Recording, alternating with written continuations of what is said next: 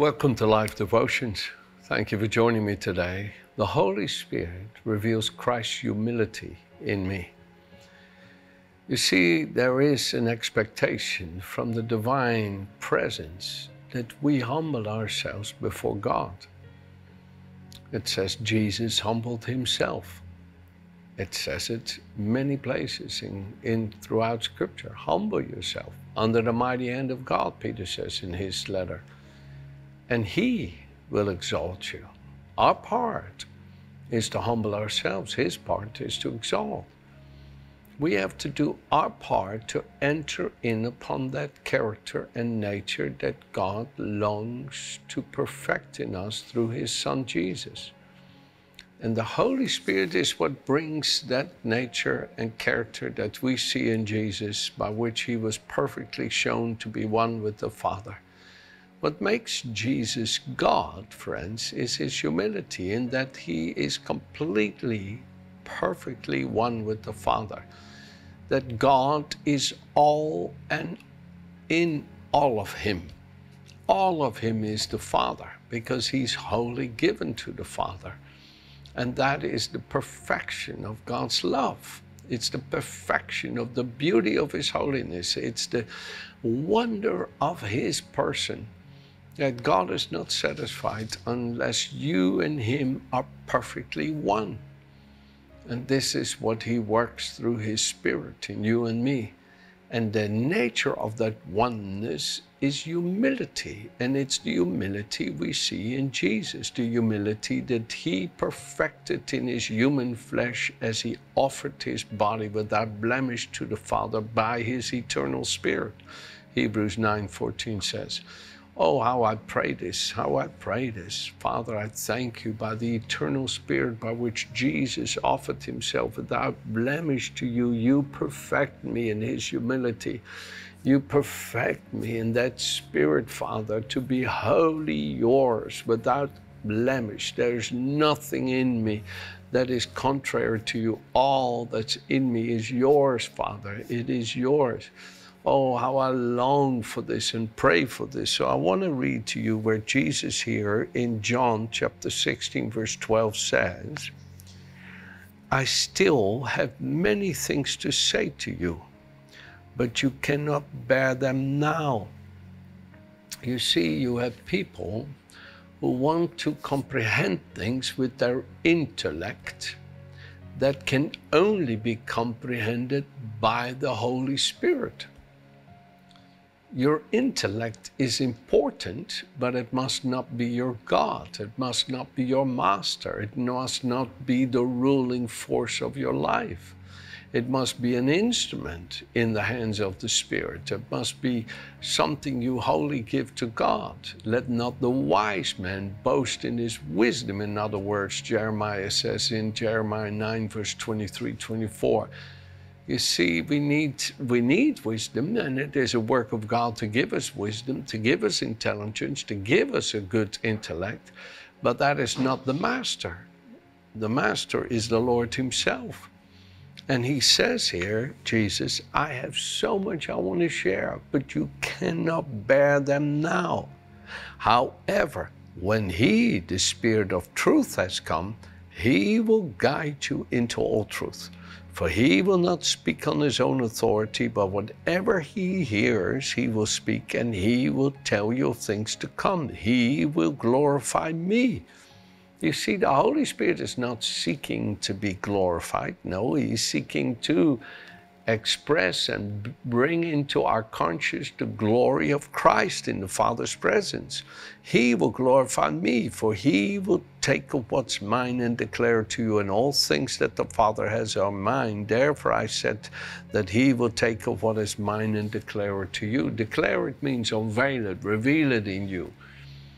You see, the Holy Spirit takes that beauty of perfection of humility that Jesus brought from heaven as the Son of God and perfectly embodied in his life on earth, and then demonstrated the perfection of that humility in his death, wholly given to God.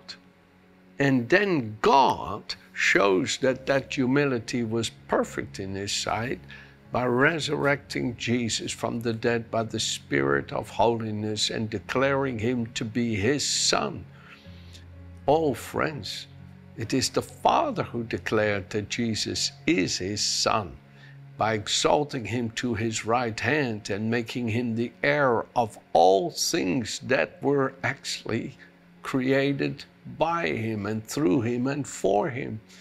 And here Jesus is in heaven in the perfection of that humility, wherefore he is and he alone is worthy to open the scrolls and praised as the Lamb of God in heaven and that no one in heaven and earth and under the earth has the kind of honor in the presence and the perfection of the image of the Father that Jesus has. And that life of perfect humility is what the Holy Spirit so longs to reveal in you, to open your understanding, to begin to open your eyes and reveal it in the consciousness of your heart and in, in, and manifest it in your body. You see, it says here in First Corinthians chapter 2, starting at verse 9, as it is written, eye has not seen,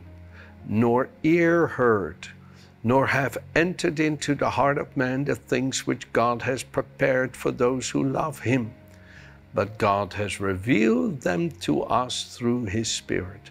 For the Spirit searches all things, yes, the deep things of God. For what man knows the things of a man except the Spirit of the man which is in him? Even so, no one knows the things of God except the Spirit of God. Now we have received not the Spirit of the world, but the Spirit who is from God, that we might know the things that have been freely given to us by God. These things we also speak not in words of man's wisdom teaches, but which the Holy Spirit teaching teaches, comparing spiritual things with spiritual. In other words, you see it throughout scriptures, and the Holy Spirit in us opens the scriptures. What eye has not seen, what ear has not heard is a quotation from the Old Testament to help us realize by what the Holy Spirit has said what the Heavenly Father has now freely given us in Christ.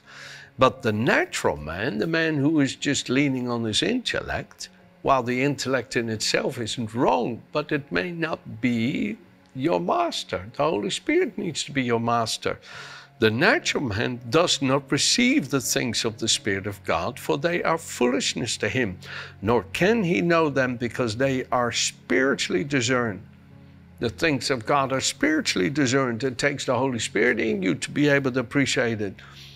But he who is spiritual judges all things, you see. Yet he himself is rightly judged by no one. For who knows the mind of the Lord that he may instruct him? But we have the mind of Christ.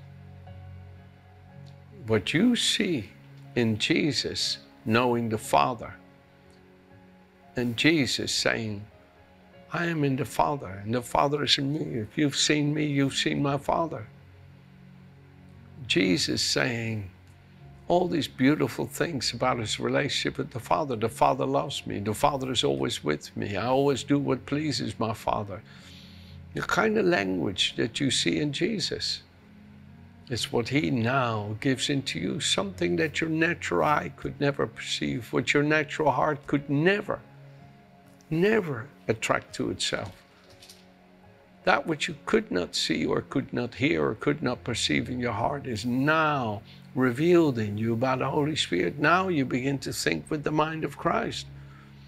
Now you begin to enjoy this humility this submission to the Father, this trust in the Father, this reliance and dependence on the Father. You used to say, Oh, I never change. I'm always still falling short. I still have all these weaknesses in my human nature. Now you think different, you talk different. Now you say, Oh, my loving Heavenly Father, I am so grateful for your grace that in my weakness your strength is made perfect. Oh, Father, I'm so grateful to just be a poor, weak human being so that I may enjoy the riches of your glory. For you said it through Jesus in the Beatitudes, the poor in spirit, to them is given the kingdom of heaven. Oh, Father, in myself, I am so poor in my natural nature, my intellect, my power, my wisdom, my, my, all my, my, my is all worthless compared to the riches of your glory, to the inheritance of the saints in the light, to the wonders and beauties of your own holiness, Father. Now, now I partake of these glories, these unsearchable riches of Christ. While I am the weakest and the least of all saints, yet you have granted me to enjoy the riches of Christ's glory, the life He has with you in heaven. Oh, Father, I love this humility by which I have access, by which I can trust and rely and depend for all these glories and riches to be unveiled in me. Oh, Father, I want more of the humility of Jesus. I want more of this humility of Jesus, Father. Father, I long to be perfected. Jesus said in Matthew 11 27, Learn of me that I'm gentle and humble of heart, and you will find rest. Where you've struggled with falling short of God's glory, where you've struggled with failure, where you struggled with the world's temptations and all the devil's lies, you come to rest in the sufficiency of His love and you love this humility by which you are perfected in your submission to the Father, by which you are perfected in your dependence on the Father, by which you are perfected in the freedom of self, in the complete perfection of surrender, of holy surrender. All to Jesus I surrender. Oh, Father, I thank you for this humility that you, of Jesus, that you give in us. Amen. Have a good day.